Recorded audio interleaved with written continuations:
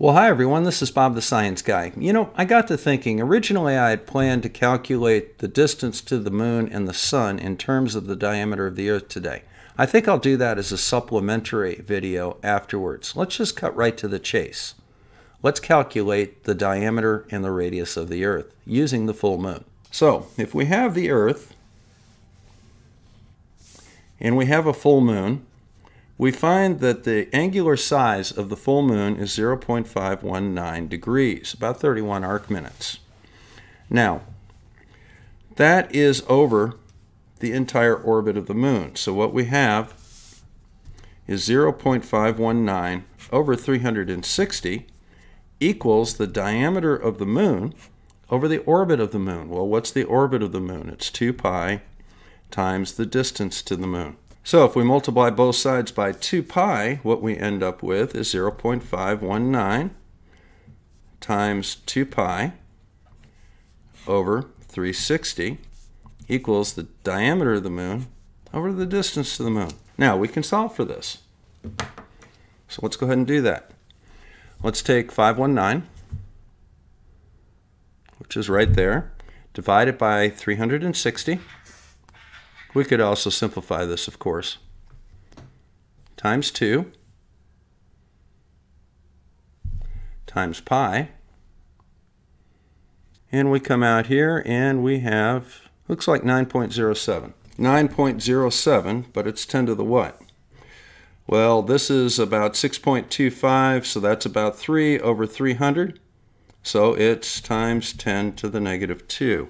That is the ratio of the diameter of the moon to the distance to the moon. Except in our very first video, we found the distance to the moon using the solar eclipse, and that distance to the moon was 384,000 kilometers. If we multiply 9.07 times 10 to the 2 times 384,000, what do we get? We get about 3,500 kilometers. That is the diameter of the moon.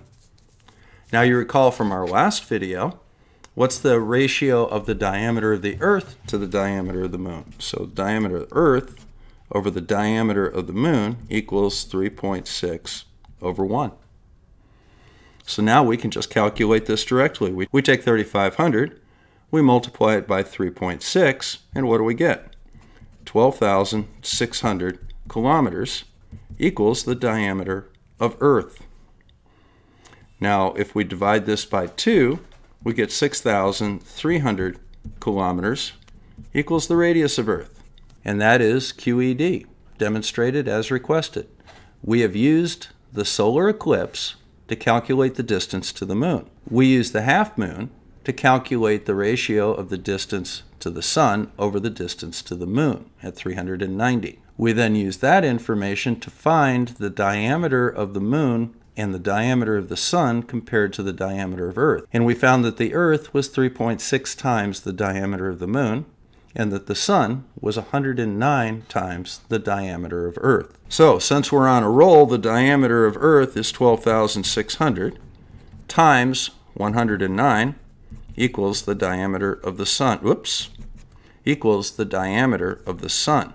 I'll let you guys do the math. So that pretty well covers it. This is Bob the Science Guy. Follow me for more. I will do a supplemental video probably in a day or two where we can find the number of Earth diameters out to the moon and the number of Earth diameters out to the sun. It's an interesting mathematical exercise, but this basically answered our question.